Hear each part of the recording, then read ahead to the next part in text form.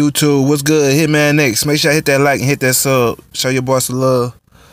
So I'm out here, you know, trying to dodge these skeetos, man. They light my ass up.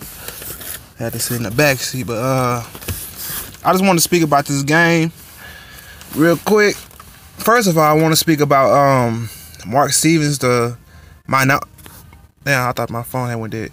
My minority um owner of the Golden State Warriors. Um, if you don't know, he um allegedly well, it's not allegedly, it's on it's on tape, but he pushed uh Kyle Lowry when Kyle Lowry had dove into the stands or whatnot, and um he got fined 500k and suspended for a year. And a lot of people are calling for him to be suspended for life and 500k is chump change. Why you counting this man pocket? You feel me? But I feel like the NBA overreacted. You feel me? Like it's not like he hit the dude. You dig? Or he called him a a racial a racial slur. Like just push the nigga, man. Like, like get off of me. You did like I didn't see nothing to it. When I seen it live, I was like, you know what? I didn't even notice it too much. I'm like, all right, he pushed him. All right. I ain't really looking to it. I feel like Kyle Lowry, because a lot of people reacted the same way as Kyle Lowry, the NBA had to do damage control with that. I don't feel like he should have been fined or suspended. Just I feel like it was just over bloviated.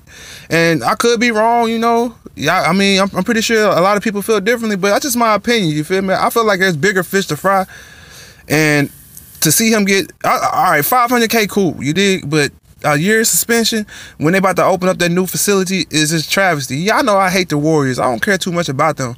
I would like to see them lose all their games in, in Golden State to close out that Oracle Arena, but I mean, fair is fair and right is right. You know, and right and wrong is. I can't vouch for that shit. I mean, it is what it is like I said, I see a lot of people calling for this dude to get banned. Why? Why would you ban somebody who owns a team or part of a team? Like, uh, like I said, if he didn't say anything racial or he didn't disrespect this dude to the highest order by calling him a monkey or something like that, I don't, I don't get what the issue is. That's just me, you know. But uh, yeah, Hitman X, man. Let me know how y'all feel about this in the comment section. I got Golden State getting this game because it's a must win for them. This is a must win game for Golden State. If they lose, it's over. And I'm gonna laugh my ass off. I'm gonna be right back on YouTube and I'm trolling. I'm trolling everybody because y'all sat here and told me I don't know shit about basketball. Y'all sat here and trolled me.